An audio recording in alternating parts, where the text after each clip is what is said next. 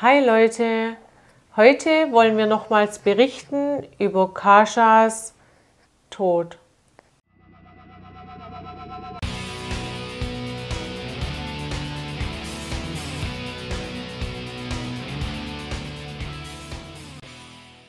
Übrigens mit neuem Nachwuchs unser kleiner Rocky.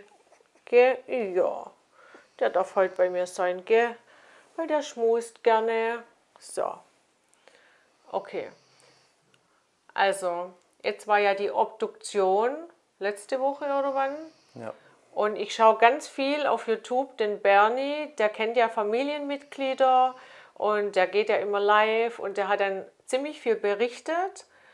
Ähm, die Leute hatten dann erst, da konnten wir anrufen, beziehungsweise er hat die Leute ja angerufen und die waren total verschiedener Meinung. Manche haben gesagt, ja, sie glauben nicht, dass es Selbstmord war. Die denken, äh, der Jerome Boateng hat da irgendwas eingefädelt, ja, oder Mafia steckt dahinter. Äh, es gibt ja der perfekte Mord, äh, haben die Leute am Telefon manche gesagt, wahrscheinlich konnte man das jetzt nicht mehr nachweisen, wenn sie irgendwie betäubt worden wäre. Ähm, also es war ja so, dass die sich am 9. 9. Februar, äh, um 9 Uhr hat sie ihren Kleinen zur Kita gebracht oder zu, ich weiß nicht, wie heißt es, wo man da aufpasst? Ich, mir fällt's Ja, jetzt, Kita. das ist Kindergarten-Kita. Mir fällt es nicht ein, wo du die da halt hinbringen kannst, äh, weil ist ja, glaube ich, wegen Corona auch nicht gerade. Aber da, wo sie halt dann betreut werden, ihren sechsjährigen Sohn hat sie da hingebracht und anscheinend hatte sie dann noch ein Gespräch um 9 Uhr, weil ihr Sohn ganz viel weinen würde, weil er das mitbekommen hat durch andere Kinder, weißt du, im Kindergarten. Ja. Ähm, das, äh, was da gerade abgeht. Und da hatte sie ein Gespräch mit Erzieher. Und äh, was ich übrigens auch sagen will, das sind ja auch die Eltern dran schuld, wenn die für so kleinen Kindern ja sowas besprechen. Also ich finde einfach, das sind die Kinder, äh, die Eltern mit dran schuld, ja. Boah, die Lichter sind voll heiß, mir ist ganz heiß im Gesicht. Quatsch. Natürlich, sie sind voll heiß. Und ähm, ja, sie hatte dann das Gespräch, war dann wohl um 10 Uhr in der Wohnung von Jerome Boateng, also wo sie angeblich, so wie ich das mitbekommen habe, zusammen gewohnt hatten und wollte ihre restlichen Sachen holen und hat dann auch noch, äh, glaube ihre Mutter geschrieben, WhatsApp und andere Leute, wie man das mitbekommen hat. Ja, aber alles ganz normal gewesen. Ja, Bis zu dem Zeitpunkt zumindest. Ja, zumindest haben die das alle gedacht Ja. und sie hat sich auch normal verhalten, war keine Anzeichen irgendwie von Suizid oder dass sie Depressionen hatte und äh, hat sich ja dann erhängt. Also laut, äh, äh, wie sagt man da, laut äh, Pathologie oder, oder der äh, Kriminalpolizei, die das ja anschauen, war der Tod um 12 Uhr mittags, also von 10 bis 12. Ich finde die Spanne echt irgendwie zu kurz, dass sie da vielleicht so eine Kurzschussreaktion hatte. Die Leute hatten ja auch gemeint, am Telefon bei Bernie, ja, wo er ja mal live geht, also dass die Zeitspanne zu kurz ist zwischen 10 und 12 Uhr, ja, und sie hätte später noch ein Shooting gehabt am Nachmittag. Genaueres wusste Bernie auch nicht, wo er da erzählt hat. Und da sie da nicht aufgetaucht ist, hat er der Fotograf bei ihren Eltern angerufen und äh, auf jeden Fall ist sie um halb acht oder halb neun, weiß ich jetzt auch nicht mehr genau, gefunden worden. Und ähm, ja, viele haben gesagt, das kann man nicht mehr rausfinden, aber der Herr Zokos, oder wie heißt er? Zokos, der wo ja sie jetzt erst obduziert hat, zwei Wochen später, hat ja gemeint, du hattest das vorher gesehen, Ja, der hat gesagt, wenn jemand. äh, unsere Katze, huh, hängt sich an der Lampe auf, sorry. Hey, Pikachu, nein, sonst geht unser Licht aus, dann sehen die Leute uns gar nicht mehr. Da können wir einen Podcast machen. Also der Herr Zokos, der äh, Pathologe, hat die obduziert. Das sind die, wo die, wo die Leichen obduzieren wurden. Das ist Pathologie. ja, das wissen doch die Leute. Ja, doch du nicht. Du hast mich gerade gefragt, was Nein. es ist. Du hast mich gerade gefragt, was es ist. Ja, der ist ja irgendwie ein renommierter da. Was Also der Doktor, Professor, wie auch immer, Zokolos, äh, Zokos oder wie der hieß, heißt, äh, der hat ja dann auch so ein Statement abgegeben und äh, du hast das nochmal richtig mitbekommen, was er gesagt hat, weil ja viele Leute gemeint hatten, äh, dass man das zwei Wochen später nicht mehr nachvollziehen kann, äh, wenn die da betäubt worden wäre. Nee, er, er hat ja gesagt, wenn, jem- wenn ein Mensch stirbt, dann stellt die Leber ihre Funktion ein. Und die Leber reinigt ja den Körper. Und wenn die Leber nicht mehr funktioniert, dann bleiben auch die ganzen Giftstoffe eigentlich noch erhalten. Deswegen müsste man es eigentlich nachweisen können, wenn die vergiftet worden ist oder betäubt oder sonstiges. Schrei nicht so, du hast Mikro dran. Ja, also ich kenne mich da jetzt nicht aus. Ich konnte mir schwer selber auch vorstellen, dass es äh, Suizid war. Ich Glaube glaub ich bis heute immer noch nicht. ja, ich hätte mir auch eher das andere lieber vorgestellt und äh, ich weiß nicht, also ähm, Bernie, Bernie hat es ja auch erst nicht gedacht, hat ja auch mit dem Patholog, Pathologe nochmal gesprochen Ja. und hat dann gemeint, ja, wir müssen es einfach akzeptieren. Wie gesagt, wegen der Leber kann man das feststellen. Also ich kann mir es auch noch ganz, ganz schwer vorstellen, weil dann auch einige äh, Anrufer gesagt haben, der Jerome Boateng hatte ja ihr angeblich erst nach 15 Monaten so, ein Verschwieg so eine Verschwiegenheitsklausel oder so einen Verschwiegenheitsvertrag äh, äh, gegeben zum Unterschreiben und ist dann aber selber zwei Tage später an die Presse gegangen, ja, und hat ja da erzählt, dass sie äh, äh, Alkoholsucht hat und ähm, Depressionen hat, aber das hatte sie angeblich nie. Und da haben viele gemeint, das hätte er schon so, weil er alles geplant hätte, den Mord. Also wie gesagt, habe ich nur gehört, ja, nicht meine Meinung.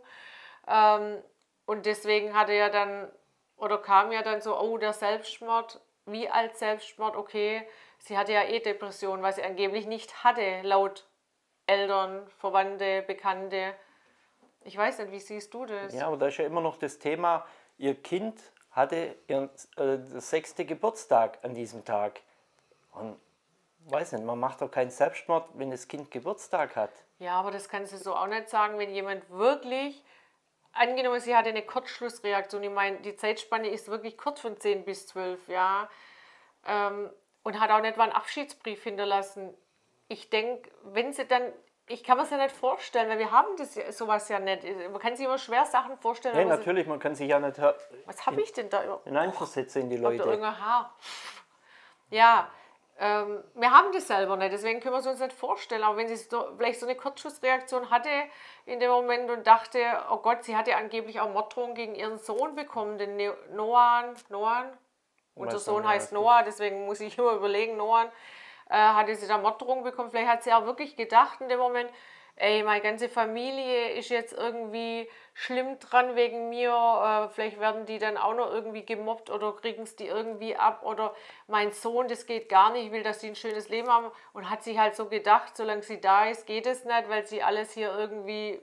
Ich weiß ja nicht, was in so einem Kopf vorgeht, ja, in so einem hübschen Köpfchen. Und äh, hat dann vielleicht echt eine Kurzschlussreaktion gehabt und hat dann Also weiß nicht, ich bin ja der Spezialist für Kurzschlüsse. Deswegen, ich, Elektriker, ich kann es mir nicht vorstellen. Also e egal was, Elektromeister. was die Polizei, die Staatsanwaltschaft, äh, der Pathologe, was die alle sagen. Ich, ich kann es mir beim besten Willen nicht vorstellen. Ich kann was. Ich weiß es nicht, Bodo, aber ich meine, ganz ehrlich, Suizid, ich würde mich, also wenn ich das vorhätte, wenn ich so nachdenke, habe ich ja nicht vor, aber wenn ich es vorhätte, würde ich mich wahrscheinlich niemals erhängen, weil ich glaube, das ist ein ganz böser Tod. Ich glaube, jeder Tod ist schlecht. Nee, weil das kann ja auch sein, dass es nicht ganz schnell geht, ja. Und, und äh, me- meistens bricht ja das Knick und es geht schnell, aber manchmal geht es auch nicht schnell. Du hängst da, hast dann keinen, den Stuhl tun dir meistens, wenn sie auf dem Stuhl stehen, dann so umschmeißen und dann geht es, also ich, ich weiß nicht, da würde ich dann lieber, was einfacher wäre, so Schlaftabletten nehmen. Das, deswegen denke ich halt, das ist alles so seltsam.